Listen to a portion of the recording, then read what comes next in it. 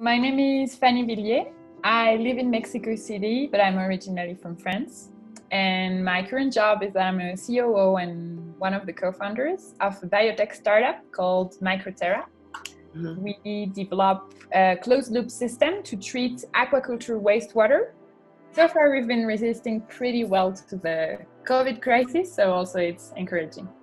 I have the feeling that it's like surreal like it's so weird to just be out in that major city and it's empty and it looks like Sunday every day. So so it's very weird and I felt terrible when they closed down the park nearby my house because I cannot go running anymore there, which was like the way I kept myself mentally healthy.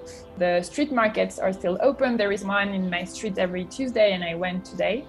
Uh, everybody were like most people were masked um, but the yeah the informal uh, commerce is still going on, and it's quite it's all an issue in Mexico because the informal economy is so big. It's more than fifty percent of the population. So it's actually like the biggest uh, concern about everybody. Like what's going to happen with all these people if they really shut down everything, like it's happening in in other countries.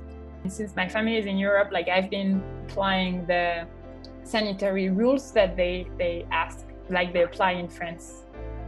And at the beginning, like I think most of my friends, we were like, no, it should happen like in Europe or in the US, it should be more strict.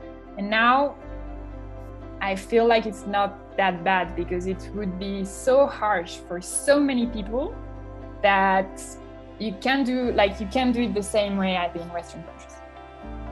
I really think like this this moment so unique, like people are gonna realize things. You know? So you get back to basics, you get back to what's important, you get back, you suddenly have time to think a bit more if you can stay at your home safe.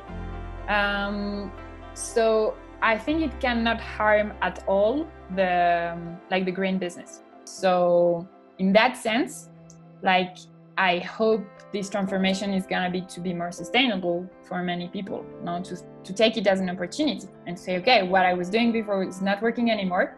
Now we have some space to do something new. And uh, and so there is like that green word and sustainability and protect the planet and the green new deal. So this is my chance no? Before the the the pandemic i was working a lot in a rush very much tired always running and the crisis just like forced me to stop that and i really appreciate it. So take time and don't overbook your agenda and just get used to do nothing sometimes and it's fine and it's actually necessary